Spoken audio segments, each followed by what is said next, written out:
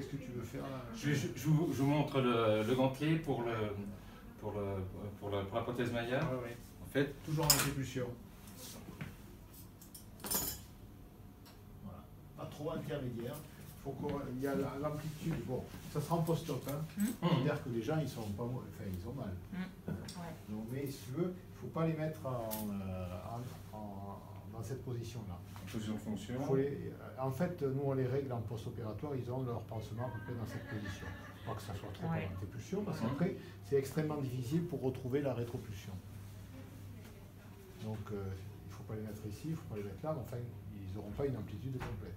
Donc, il faut les mettre en position un petit peu intermédiaire. Légère antépulsion. Voilà. Il ne faut pas non plus qu'il y ait de fermeture de commissure, qu'il y ait une ouverture commissurale, parce que ça, c'est extrêmement difficile à rattraper. D'accord. Donc c'est en ouverture commissurale, en position intermédiaire. Donc avec le... Voilà. Après, bien sûr, respecter les repères pour la, la, la flexion des doigts, euh, l'interphalangienne du pouce qu'il faudra pouvoir travailler pendant la la- l'immobilisation et...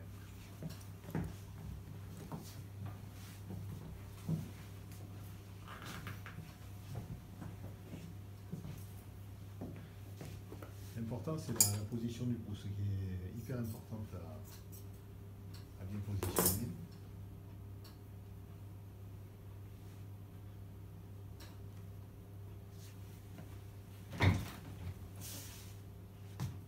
Donc toujours l'ouverture de commissure ici et légèrement en antépulsion.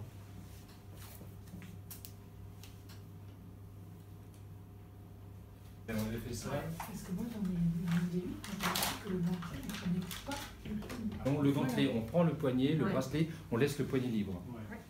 Et après, tout dépend de la confiance du patient, parce que c'est un patient déchaîné, on est oui. obligé d'immobiliser Ouais, le poignet, ouais, faire ouais. un truc en résine. Mm. C'est un patient très Voilà. compliant, on peut faire juste une petite orthèse, un P-stop euh, avec Stenactili. Voilà. Donc, il y a des, euh, des gens qui ont une rhizarthrose qui ont un pouce en Z. Hum. D'accord?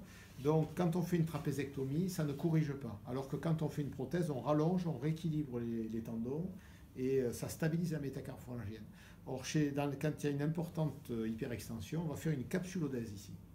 On va retendre les ligaments. Donc, en plus de la trapézectomie ligamoplastie, l'opération sur l'arthrose, on va retendre les ligaments ici. Donc, cette retention se fait à 10 degrés de flexion.